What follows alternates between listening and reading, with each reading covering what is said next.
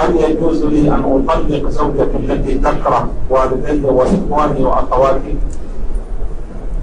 إذا كان في هذا مفسدة